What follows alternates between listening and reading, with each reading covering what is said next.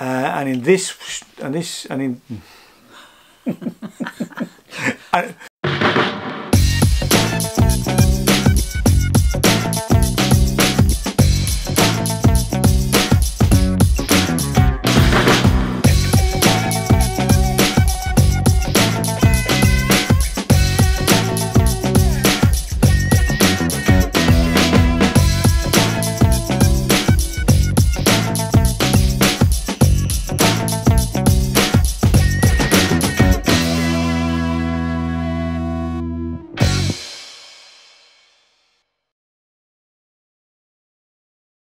Hello, my name is Ian J. Cole and welcome to our channel. This is Jane. Hi. This is the last post Edinburgh Fringe vlog we're going to do. Bottom lip. Sad face. Um, and in this one, we're going to just go through some of the shows that we really wanted to see while we were in Edinburgh, um, but never got to see. Uh, some of these came from recommendations, some of them are things that we just fancied. Uh, some of them were conversations that we had with people on the street. Yeah. And we're going to do it alternate.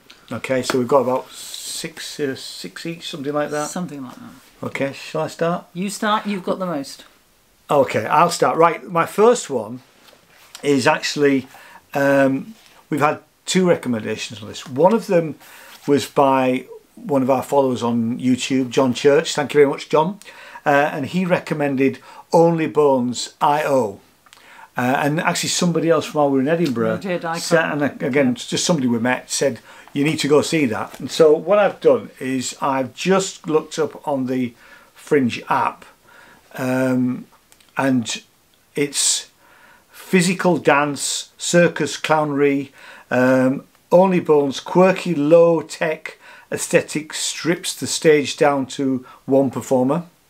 Um, and it's a New Zealand Fringe Award winner in physical theatre in 2015 and has quite a lot of uh, five star reviews. Uh, five stars from the Herald, uh, mind blowing five stars from across the arts, extraordinary inventiveness created by a limited imagination, theatre review of, of New Zealand. So, and it's such a shame actually that we never got to see that show. so, if you are at Edinburgh Fringe now, uh, or you're going before the end of the month, uh, it's, it's one to go and see. Okay. Yeah. Right. Uh, mine is we met um, a very nice lady um, when we were at Fringe Central, and she is the company manager for the B.Dance, and they Oh are yes, Kelly. That's yeah, right. Yes, yeah. I remember and. I they remember- are a Taiwanese uh, dance troupe um, who are in Edinburgh. Um, What they call dance Base is actually their full title, but everything says Dance B, um, and they are around all Fringe. What's the show called? Um, I think well they're certainly doing floating flowers, but I th- I don't know whether they're doing all three. Uh, there's inner rain, sorry, innermost and rage. Um, but she was lovely, and we would have gone to see them. Certainly, one of the shows is down at Summerhall um, because We had a sort of late, that, yeah, late Yeah. morning. It's Yeah. it's on sort of late morning, um, but we didn't get to see it. Um, so yeah, they're sort of the the short title is B dot dance is what they're known as. Um, but that was certainly one. So Taiwanese dance. Okay. And if I can find any information, any promotional material for any of these recommendations, I'll include them in the video. Um, so that you, and certainly we'll put the links in the, in the notes down below.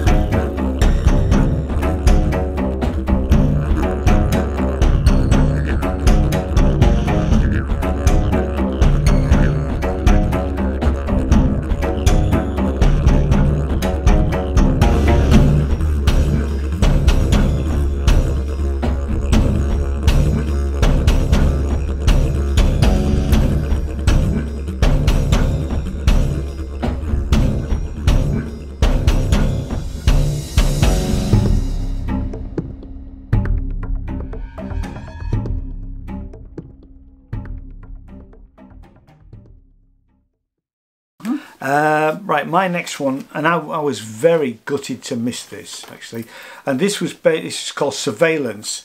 Piracy is dead.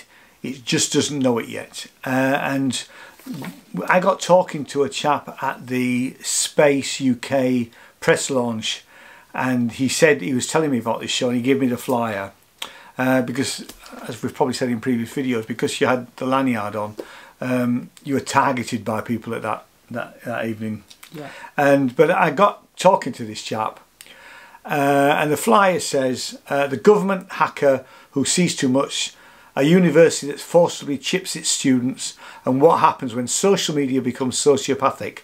Uh, three dark comedy comedies scrutinise the world that scrutinises us.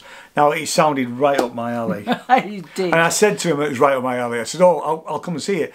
Problem was he didn't start till I think the 14th, so it's on now. Um, tickets are ten. Uh, yeah, no, sorry, it's the 12th. Well, we left we left Edinburgh on the on the on the 10th. So sadly, I wasn't going to get to see it. Um, but anyway, it's on every day throughout the rest of the Fringe.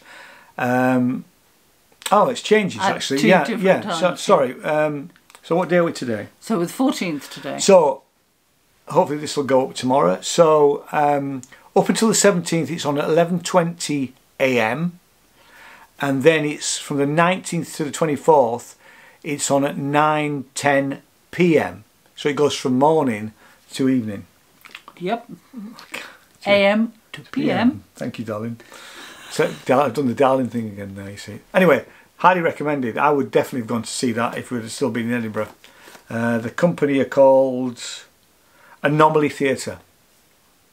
Again, we'll put some links down below. Um, can't believe that we didn't make this again. Now we were a bit sniffy about this when we originally saw You them hold it up. doing this, but it is, and for anybody that's been to Edinburgh, they know what I'm talking about. This is the Guru Dudu's silent disco walking tours, which just looks great fun when you they pass you, or they pass you know, or you get caught up in the middle of them. Um, so they do 50 minute tours every day through the fringe.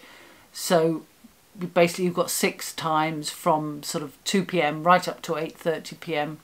Uh, and it says to check the fringe website for exact times and locations, but that's who they are. It's worth mentioning what they actually do. You get a pair of headphones and then you go dancing through the streets in groups of about 30 of you, sometimes more. So, and, and you know, you, people are singing. They're singing to what they can hear on the headphones, and not, not nothing outside. So it looks bonkers, and cl- clearly people are having a really good time doing it.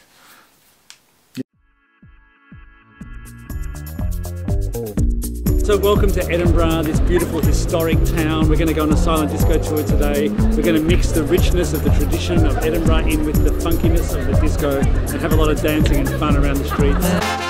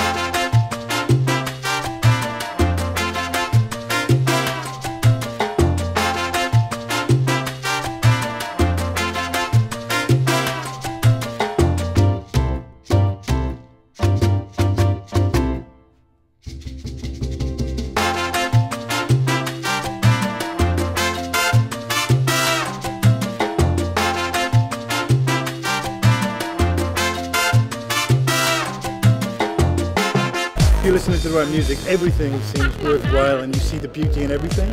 Well, this is a collective of that. Amazing. you just get into the groove. Once we got headphones on, it was just banging. It was like there was nobody else there. It was absolutely fantastic. If you do one thing in your life, you have to do this.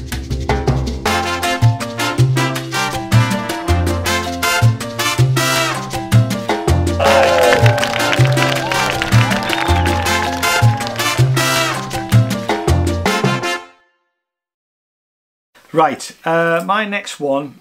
We saw a clip of this at this again at the Space uh, press launch, but this was Jagged Little Pill live on stage, uh, where um, it was the Alanis Morissette album, and I just fancied it. Um, it was it's on every day um, throughout the Fringe at Symphony Hall, venue 43. No, symposium. Oh, sorry, Symposium Hall. Can't read, I've got the wrong glasses on.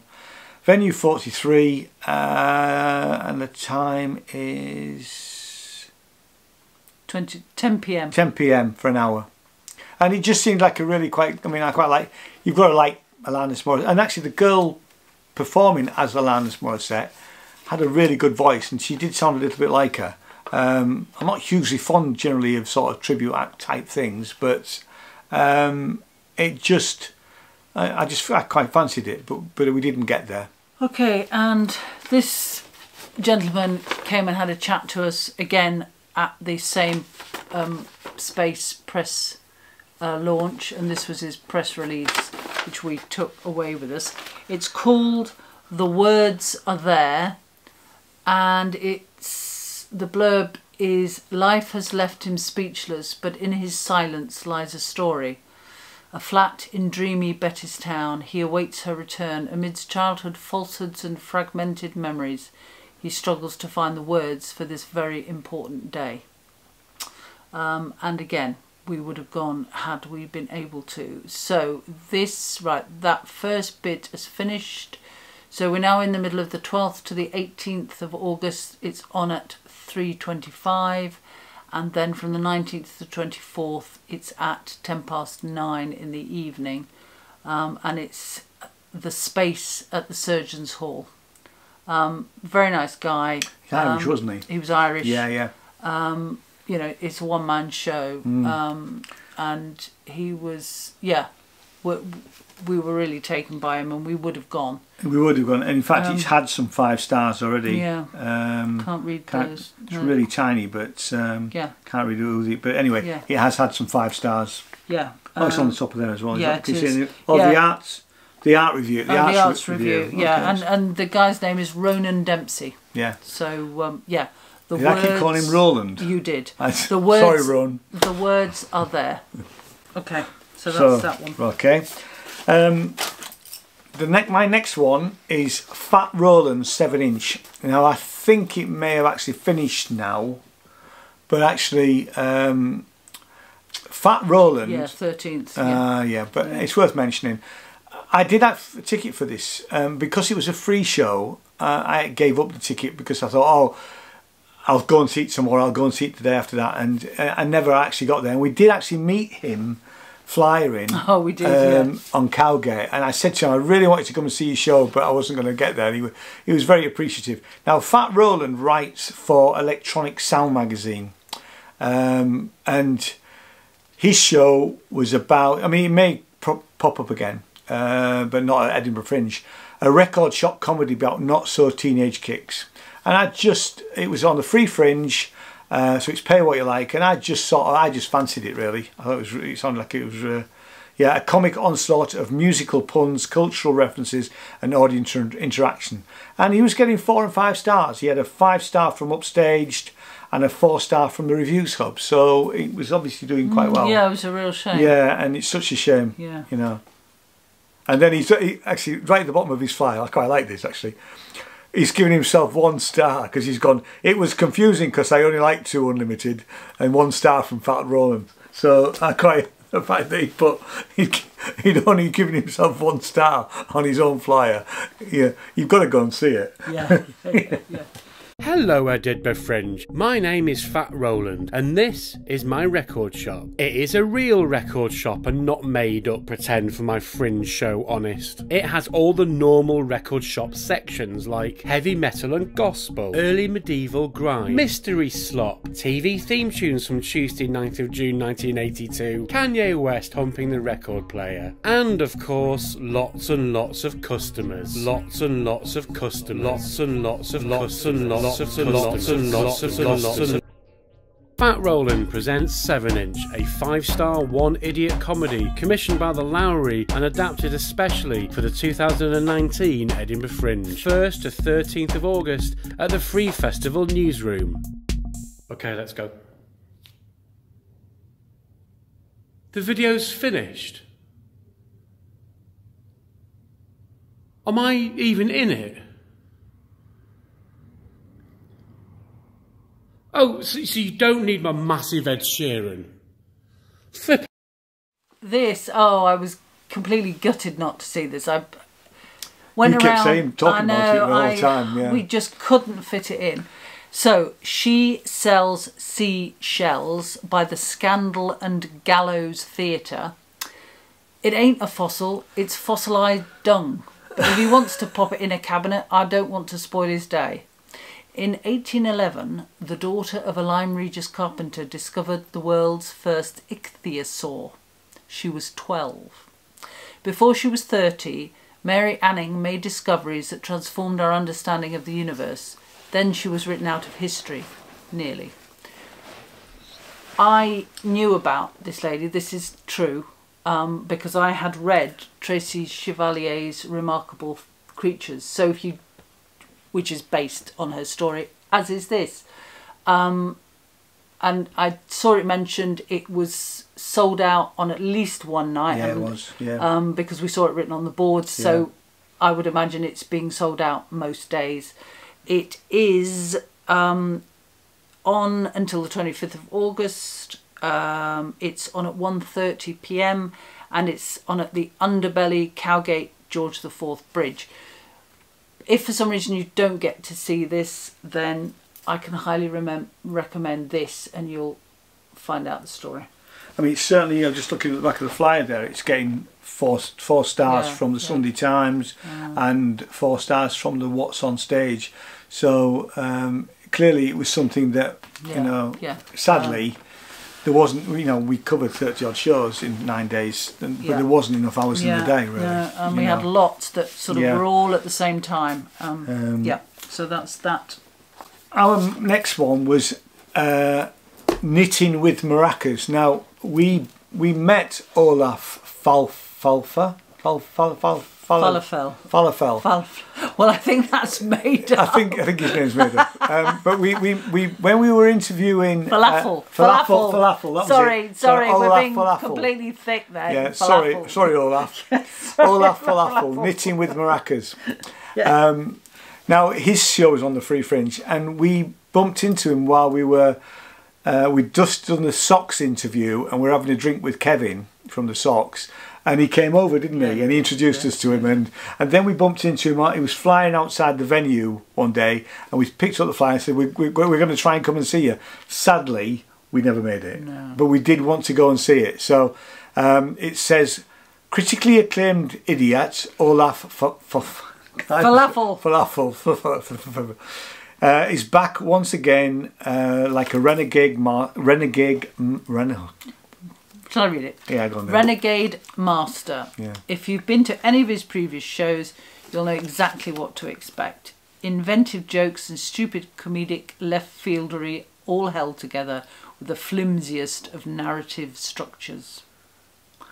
Um, got four stars in the Evening Standard, um, and it's on every day at two, uh, ten to three in the afternoon.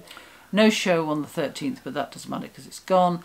At the Laughing Horse, the Pear Tree. So that's West Nicolson Street. Um, but a great character. Yeah, brilliant. So it's quite sad we, we missed yeah, that. Yeah.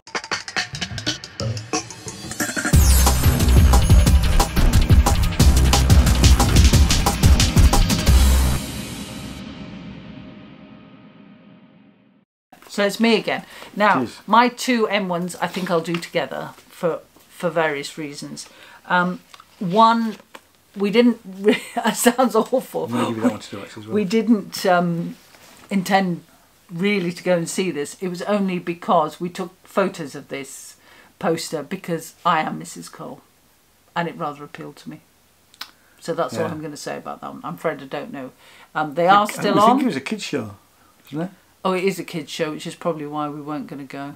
Um, yeah, it's, Nothing against kids shows, yeah, but we don't. yeah, we, no, our no, kids no, are grown up, so No, no. Um, so anyway, it's on at 1.45 every day at it, uh, the Pleasance Courtyard Beyond. Okay, so, but great, great picture. Um, and then this, because this is finished, sadly, Mm. but this was um, this lady we met lots of times. Um, great lady. I became um, her IT tech yeah for a bit. um, very passionate about dyslexia. She is dyslexic. She, you know, she quite upfront about that. So, Sam Rapp, the dyslexic poet, and her show is called or was called the Amazing Dyslexic Poetry Show.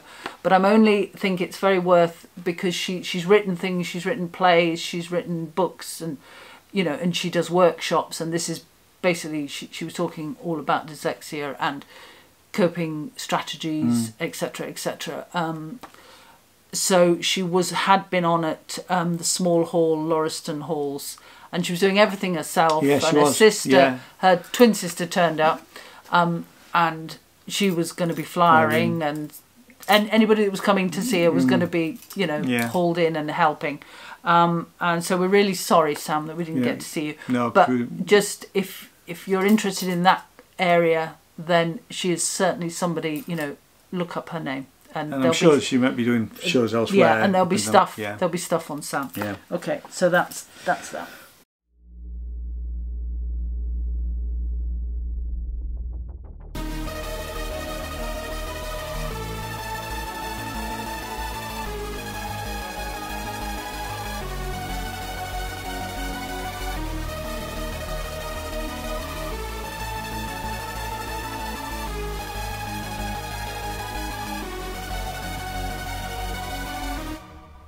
Got a disability, but I've got loads of ability and agility.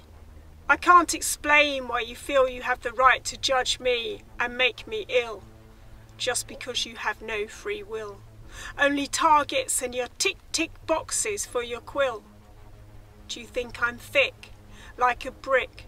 Give a dog a bone, I'll do a little trick. I saw a beached whale as I walked along the mumbles one day the sound of her blowhole, struggling as her white tears seep through her closing eyes, mixing with the waves crashing over the rocks, changing colour, brown and red as she cries. The harpoon has hit her thighs. She slowly dies, stranded on the red sand as you walk by holding hands. She sighs her last breath as her eyes close. The peninsula outstretched as her body kisses the sea in the bay. She won't have another day. Perhaps there were no whales to be seen. Maybe it was just me, hidden in her darkness of desperate anticipation of the longbow's snare, like the bullies who simply don't care. I am a person with dignity in my life. I don't need all this cursing strife, like when you critique my punctuation, like when I was back at school, a useless tool. Did you try and help me? No. But you were quick enough to abuse me and yell when my work was marked down just because I'd struggled to spell. You judged me by my ability at maths, my below zero. GCSEs attempted, but I couldn't keep up. I'm just no good at numbers, and the words are mumbled and scrambled and jumbled in my head, like my mother before me, who was mocked so cruel. They didn't look to see her talents, and now she is dead. How many more do I see being yelled at and bullied just like me? Blinded by science that they don't need, so many lives wasted as they can't succeed, as they don't have a maths GCSE or English, you see. The question surely has to be does anyone need a science degree just so they can succeed in society? Does anyone really understand a y and x is this and that adjectives in the grammatical world sense?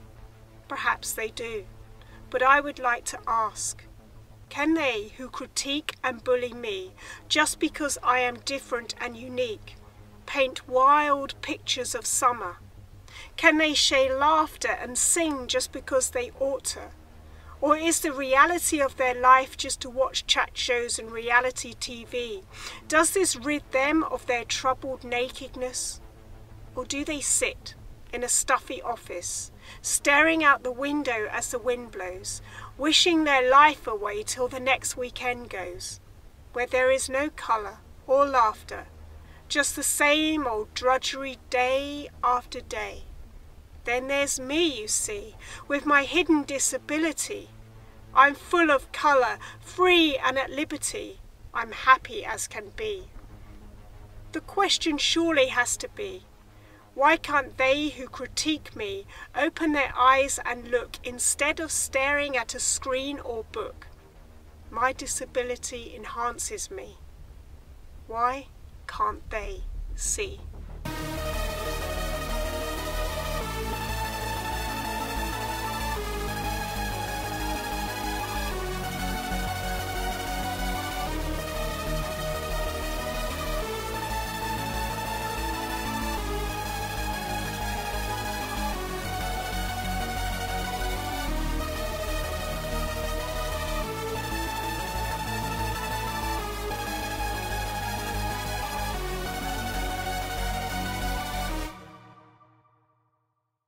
Okay, um, I've now got Bruce Fumer. Fumer? Fummey. Fummey? Fummey, Bruce, Fummey. Bruce Fummey. Now, um, he accosted us when we were on our way to another show. We'd, we'd, we'd, we'd just eaten and we were just walking down the grass market. And he and he was out there outside the venue flying in, and we said, "Well, we can't come and see you because we're going to see this, this show." He says, "Oh, I won't use the actual words." He said, "But oh, f that." Come and see me instead. But he was very funny. And actually, Bruce, we, we were trying to get back to see you because, uh, again, on the Free Fringe, he was nominated for the Scottish Comedy Awards in 2013, 14, and 17. He was a genuinely funny guy when Yeah, we started was. talking I mean, to him. Just You know, in that few moments, you know, we were thought, right, well, if we can get back to see him, Yeah, yeah. we will. Um, yeah. um, sadly, we, sadly we didn't. And actually, he was Scottish Comedian of the Year in 2014. So apart from his nominations, he was also the Scottish comedian. But it's one man show. Um, he's on until the end of the Fringe every night at 9:30 p.m. in where is he? Is in Beehive Inn. Beehive Inn. Oh yeah, the Beehive Inn. Beehive Inn Two, which is on down the Grass Market. Yeah. Actually, there's um, he's not there between the he's not there on the 19th, 20th, and 21st. Oh yeah. But up till the 18th, and then again from the 22nd to the Yeah. 25th. Yeah, and he said on the flyer, guaranteed your place by buying a ticket for five pounds, or you can donate at the end of the show. Now, I'm not surprised if he wasn't filling it Yeah. because I thought he was great. He was very really, funny. he was very funny. Yeah, yeah, yeah. So so again, sorry, Bruce, we didn't make it. And um, oh, we've got things stuck to this. But anyway, as you can see, this is Thrones There's the another one, musical parody. Yeah, we've got a better one actually. Swap, swap that Yeah, one. we've got a better one.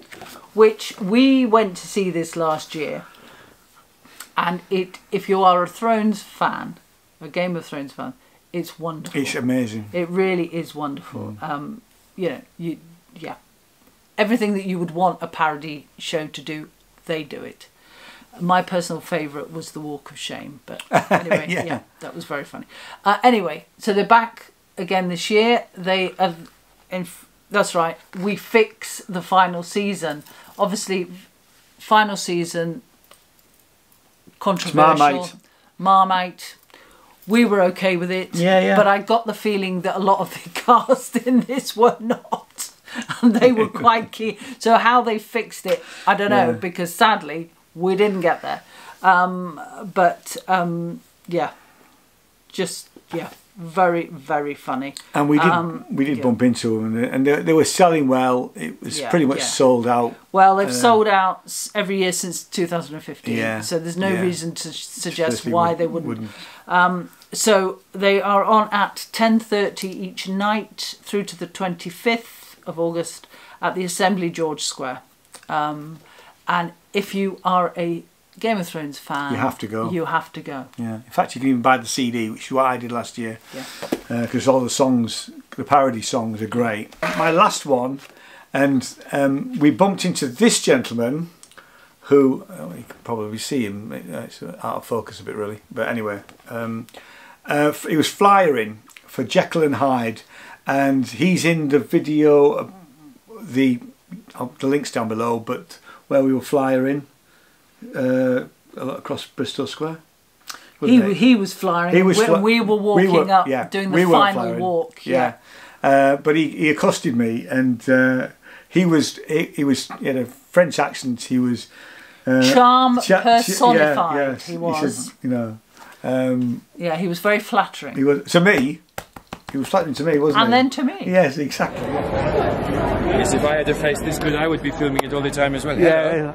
Oh, what is this for, my darling? So tell me about your show. Oh my God. I, I, I, I'll, I'll, I'll tell you now, I might not be able to go and see it because we're it's our last day today and we're pretty full, but it will be on YouTube. Oh So my goodness, where, where are you from, Ian? I'm from, I'm actually from Yorkshire. Oh, lovely. Yeah. But this is your last day in Edinburgh, is it? Yeah, we've been here for nine days. Oh my God, have you been having a nice time? Yeah, it's been great. Yeah, yeah. Fantastic. yeah, yeah. Well, my darling, we're doing the story of Oh, the story and of Hyde. Jekyll and Hyde. Okay. We are a very famous French theatre company, you know, and we tell the story of Jekyll and Hyde, but our version it is much sexier and much naughtier. You really very much enjoy it. It's more more like a sexy party than a theatre show, really. We are on every day in the Piccolo tent in George Square Gardens at 3 p.m. I would love to see all your beautiful faces there. Come along and have a little play with us, my darlings. Maybe I'll leave this with you. Thank you very if much. you're free at 3 o'clock, come yeah, on down. I'm sorry I am, but otherwise, I'm, it's lovely. And really good to meet you. Lovely to meet you. Have a good friend. Thank you very Cheers much. Cheers now. Bye-bye. Bye. Oh, lovely to- Are you with the gorgeous Ian, man? Yeah. God, you're Cheers. lucky, aren't you? I mean, I think, I think you're the lucky one as yeah, well. I'm going to say I'm punching above my weight. I know that. Have a gorgeous day, my Thank you. You too. Bye. Exactly, yeah. and actually, had we still been, in, and we did say to him, we, it was our last day, and we couldn't really go. Um, but I did say I would mention it, and they have they have been getting four and five stars. So five stars from Fringe Guru, uh, four stars from the Wee Review. Um, That actually, I'm just rereading. I think that's for Don Juan, which oh, was their yes, previous, right, their previous show. show. So anyway, show. as a company, but they've as had a company, they've yeah, well spotted, yeah. Um, but it looked like it was quite a good, fun thing to go to. Yeah. Um, and we would have gone had we still been in Edinburgh.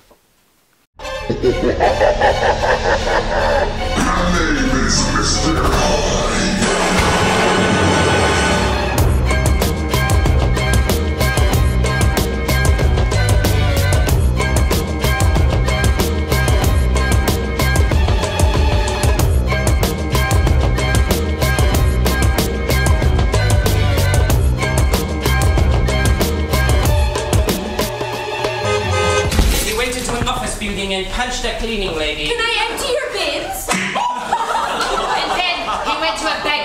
bagpipist in the Wellington waterfront.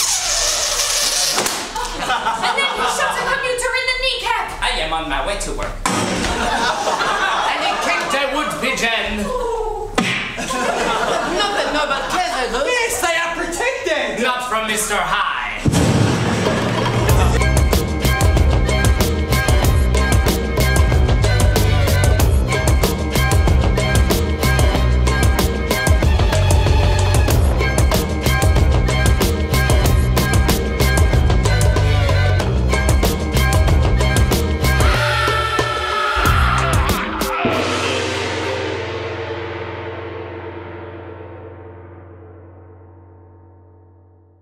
Okay. And that's it. And that's it, we're done. Okay. Yeah. So, thanks very much for watching. We'll do the same again next year. Uh, really? Yes, yeah. Actually, we are talking about doing it for the whole month, if we can. aren't we, darling? Yeah, we are. Oh, We're, it's two darlings in one we're show, aren't considering it. So, but we will probably need some sponsorship. Hint, hint. If for anybody out there who wants to sponsor these YouTube videos, um, but we'll talk about that nearer the time. Yep. Um, so we've absolutely thoroughly enjoyed doing this, although it's been a lot of hard work, hasn't it? Yeah, more so Uh, for you. Yeah, but, but, that's um, just the but editing yeah. bit, really. Um, But good we've- fun. it- It's been great fun, and I hope it's given you a flavour of what it's really like to go to Edinburgh Fringe, if you've never been before. Um, we'd love you to subscribe and ding, ding that little bell because the videos are still going to be coming. Jenny will still be involved in ones where we, we're going to be reviewing things like if we go to um, uh, a concert. We've got a concert coming up next month. We'll probably review that. The Turin Brakes concert Yeah. uh, and other things. So hit that little subscribe button and, the, and ding the bell and a thumbs up if you love this. Uh, and please comment down below of things that you like to see or you've seen at Edinburgh Mm. Fringe because half half of the battle here is reading the comments. I think really. Yeah. Okay. So thanks very much. See you next time. Bye bye. Bye.